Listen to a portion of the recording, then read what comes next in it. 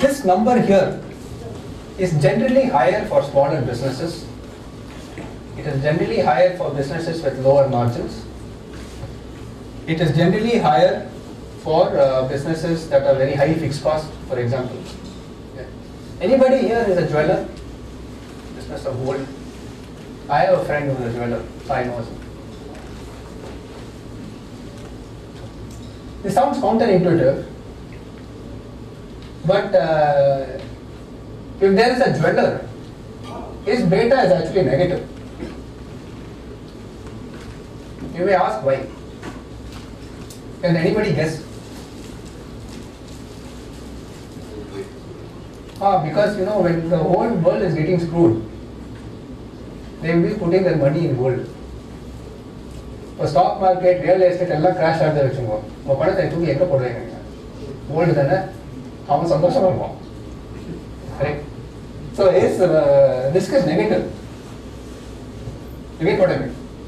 Uh, because we see gold as a source of value. It will never fall in value. Otherwise, I can pass it on to my next generation. I'll keep it under my bed. It will increase in value over time. I'll pass it to the next generation. So gold actually has a negative beta. So if you're in the, anybody here in the jewelry business, the calculation has to be done little ulta. Okay. Um, Everyone should be in gold these days. But uh, today gold has also become very risky. Uh, unfortunately, I don't think gold is anymore a store of value like how our parents taught us. Uh, I don't think we can tell the same thing to our children anymore. Because today the price of gold depends on whether, you know, people are fighting in Iraq, people are fighting in uh, somewhere else, or what the price of oil is. All factors over which we have no control. Uh,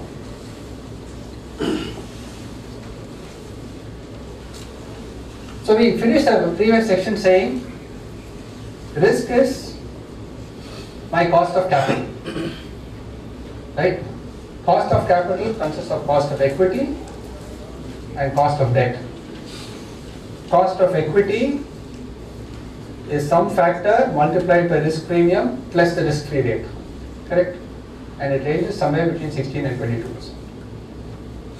Now the question is how do I measure return?